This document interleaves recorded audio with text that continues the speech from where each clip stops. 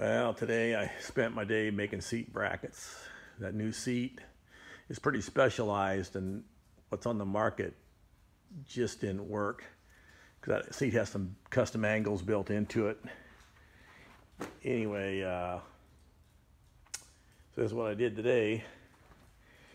Anyway, it turned out pretty darn good. I used my, again, my my tubing for my radiuses and stuff for my brackets. So you can see here how it's come out really good there and those 45s right there are from the right there where I cut it. And so I'm getting all test fitted everything out. There's a couple little more reinforcement tabs I want to put on there but other than that it's all done and the seat fits perfect. And so whenever I do a custom seat in a car our own personal cars I have to make sure Donna can drive it so uh, to make sure it goes far enough forward because she's kind of short anyway, so the seat, this is forward here.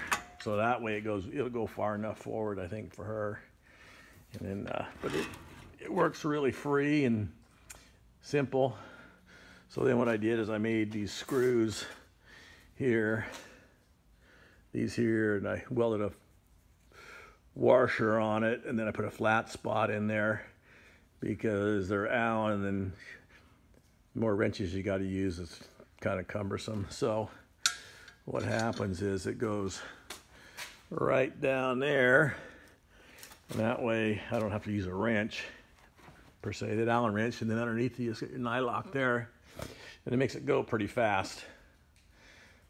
So uh, I'm pretty happy with it. It's taken quite a bit to do it, but the end result's well worth it. Again, there's my what I use right there, kind of out of my scrap pile, some 4x4 tubing here. Anyway, I made four of these brackets right there. And uh, so now I'm gonna go put this thing in and see what happens.